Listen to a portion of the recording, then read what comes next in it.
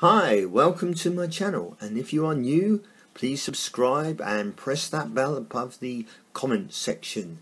This video is to show you how to do a overhead video for YouTube. So when I'm doing all my cards like this and letting you know exactly what they look like, could be any cards, this is how we do it and it's a nice simple form.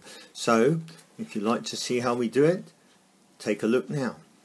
Hi, and this is how I do my videos. This is a setup here. As you can see, I've got a piece of square cut of grass that I use at the bottom there of the video. My iPad is situated on a plank of wood propped up with all my sticker books. I place the iPad on there pointing downwards and there you can see if I look in there that's where my hand is. If I need extra lighting I've got an extra light bulb in there so I can turn it on and it will shine on there to give you more uh, uh, in-depth look of the cards. Sometimes you get too much shine from the window. So it's simple as that. It's a nice little setup.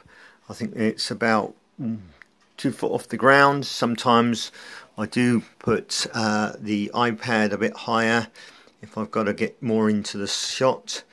So that is basically how I do my YouTube videos if you want to do the overhead version of it without showing your face in it.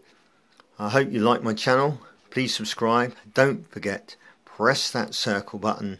Until next time, thank you so much.